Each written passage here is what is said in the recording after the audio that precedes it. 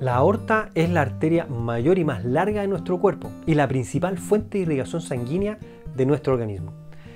Sin embargo, esta arteria en ocasiones y debido a diversas causas puede dilatarse y generar lo que conocemos como aneurisma. Hoy en el programa vamos a hablar de las razones que pueden estar detrás de la formación de un aneurisma y del tratamiento, junto al cirujano vascular Ricardo Holguín. En el Doctor en Casa estamos junto al doctor Ricardo Holguín, el cirujano vascular, nos acompaña hoy día para hablar de aneurisma de la aorta abdominal. Muchas gracias por estar hoy día con nosotros, Ricardo. Hola, buenas tardes, Claudio. Gracias nuevamente por permitirme participar. Ricardo, fíjate que vamos a hablar de una, de una patología que quizás no muchas personas han eh, escuchado. Nos gustaría que tú nos contaras un poquito, partiendo por lo básico, antes que lleguemos a la aorta, empezar a explicar qué es un aneurisma, ¿te parece? Sí, claro. Bueno, un aneurisma es la dilatación de un vaso sanguíneo en cualquier parte del, organismo, más allá de una cierta cantidad de centímetros respecto a su diámetro eh, original y puede obedecer a diferentes patologías. Exacto. Ahora, cuando hablamos de esta dilatación, ¿no es cierto?, en una arteria, estamos hablando, ahora la vamos a poner porque neurisma hay en, varios, en, varios, en varias arterias, digamos, en distintos lugares del organismo, pero, pero ahora nos vamos a circunscribir en una arteria que es tremenda, que es la arteria más grande que tenemos hoy día, que tenemos en nuestro organismo, que es la arteria aorta, ¿no? Exactamente, la arteria aorta es la vía principal, nace directamente desde el corazón, da una vuelta en el tórax y después distribuye ramas a lo largo de todo el, tórax y el abdomen en el organismo. Ahora, tener una dilatación en una arteria tan importante puede tener consecuencias, ¿no es cierto?, gravísimas, incluso la muerte. Ahora, quiero irme un poquito más atrás. ¿Qué predispone o qué hace, si le podemos explicar a las personas, que se produzca o se empiece a desarrollar este aneurisma en este vaso tan importante? Bueno, eh, en general, la gran mayoría de los aneurismas de la aorta abdominal, que son, en la aorta abdominal son la gran proporción, se deben a causas degenerativas de la aorta. Y cuando hablamos de causas degenerativas, estamos hablando de envejecimiento, estamos hablando de factores de riesgo cardiovascular, como cuáles? La edad mayor a 60 años, la hipertensión básicamente, y el enemigo número uno del sistema circulatorio, que es el tabaquismo. Cuando uno suma eso a lo largo de los años, lo más probable es que una persona hipertensa, fumadora y sobre todo hombres mayores de 60 años puedan experimentar dilataciones en distintos grados de su aorta sin necesariamente llegar a requerir cirugía, pero que requieren vigilancia para llegar a tiempo a operarlo. Claro, estoy seguro, fíjate, Ricardo, que muchas personas en su casa se están preguntando hoy día, bueno, pero esto que es tan terrible, que le va a una arteria tan importante, da señales, da síntomas? ¿Cómo puedo saber si yo tengo este problema? Ese es un punto muy importante porque el crecimiento de la aorta es absolutamente silencioso. Un aneurisma de la aorta crece por años. Muchos eh, nos preguntan, ¿pero cuánto crece un aneurisma? Lo primero que hay que tener claro es que el diámetro de nuestra aorta abdominal es más o menos el diámetro del pulgar, unos 2 centímetros aproximadamente. Y de ahí a que llegue a necesitar cirugía pueden pasar hasta décadas. Entonces, en esas décadas de crecimiento, en esos años de crecimiento, un aneurisma crece absolutamente asintomático. Es decir, yo no me doy cuenta a través de ningún síntoma que mi aorta se va dilatando. Claro. Ahora, si yo no me doy cuenta, ¿no es cierto? Claramente, cuando esto está produciendo ya un colapso, cuando está produciendo un colapso, cuando está a punto de eh, reventar este aneurisma, eh, ¿pueden haber señales en, ese minuto?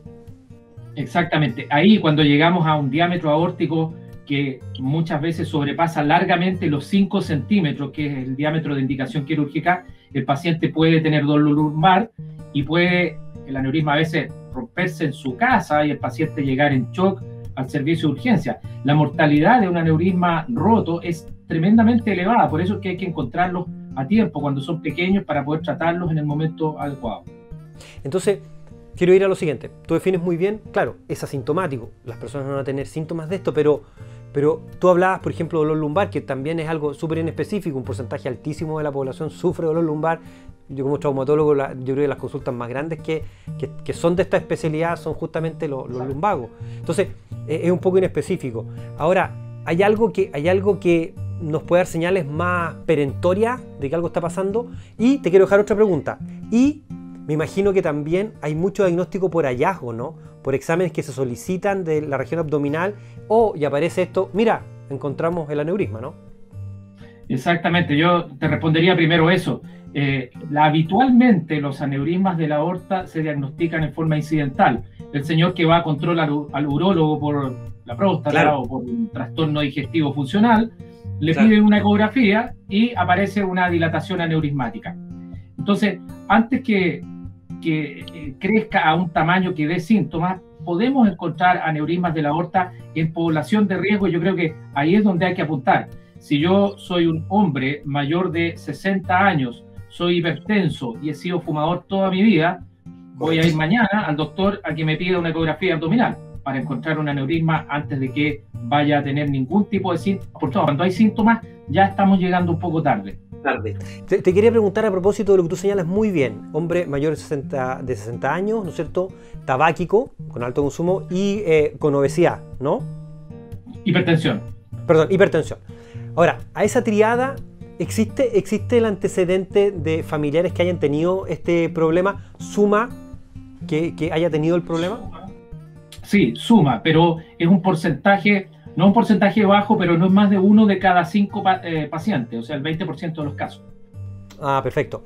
Cuando, cuando es un hallazgo, cuando se encontró, como tú muy bien decías, por este examen, este control que se hizo el paciente, ¿qué, qué existe desde el punto de vista de la cirugía como para poder evitar que este paciente llegue a colapsar?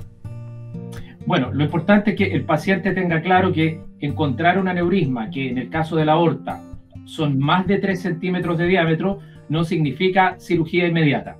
Los aneurismas de la aorta se operan cuando su diámetro, o sea, el ancho, no es el largo del aneurisma, es superior a 5 centímetros. Eso está establecido a través de estudios con décadas de, de conocimiento al respecto. Y cuando hay que operar un aneurisma, lo ideal es que sea en forma planificada, o sea, yo he ido siguiendo a este paciente en el crecimiento de su aneurisma y cuando llega a los 5 centímetros o supera los 5 centímetros de diámetro, yo voy a indicar la cirugía. Ahora, en este seguimiento, obviamente que están todos estos otros factores, es decir, si, si, tienes un paciente bajo estas condiciones que se hizo un hallazgo, dejar de fumar, el control milimétrico de, la hipertensión arterial, de la presión arterial eh, es, vital.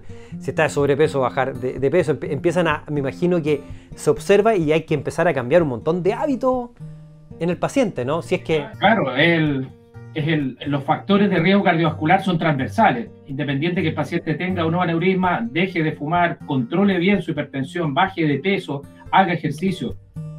Fundamental. Eh, tú, hablabas de, quiero irme ahora al otro punto. Cuando llega un paciente con este aneurisma, si le puedes explicar un poquito a las personas qué, qué hacen los cirujanos en, en, eh, este, en el procedimiento en pabellón. Perfecto. Bueno, la cirugía del aneurisma se desarrolló en los años 50 y la cirugía convencional consiste a través de una incisión abdominal que es grande, una gran cirugía. Se reemplaza el segmento aneurismático con una prótesis eh, sintética, digamos, y se sutura. Eso se hizo y se sigue haciendo, pero al comienzo de los años 90, el año 91, se publica la primera experiencia de tratamiento mediante una endoprótesis, que es lo que en la actualidad se utiliza, diría yo, en un 70-80% de los casos. En vez de abrir el abdomen, colocamos una prótesis por dentro de las arterias, a través de las arterias femorales, y bajo la pantalla de rayos nosotros desplegamos este dispositivo que es como un tubito que se coloca por dentro de la aorta y con eso evitamos que siga expandiéndose el aneurisma. Correcto.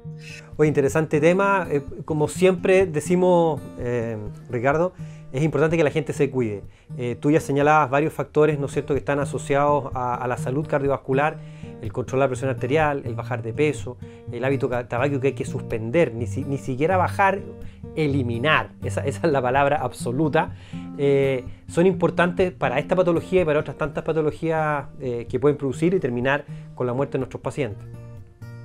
Exactamente, o sea, el control de estos factores de riesgo, como te decía, es transversal dejando de fumar, controlando la presión, haciendo ejercicio, yo no solo prevengo aneurisma, sino que prevengo enfermedad coronaria, accidentes cerebrovasculares y otro tipo de patologías sistémicas.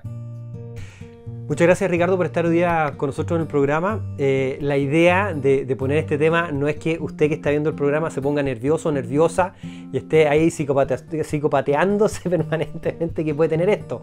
La importancia es, como muy bien decía Ricardo, entender que existe este problema y cuáles son los factores de riesgo. Si usted hoy día que escucha el programa está dentro de estos factores de riesgo, tiene estos factores de riesgo, la recomendación es consultar con su doctor, es consultar con un cirujano vascular si es que tiene la posibilidad de tener acceso a un especialista, pero no quedarse. Tengo estos factores de riesgo, consulto al doctor para evitar una complicación tan grave como el aneurisma de la aorta.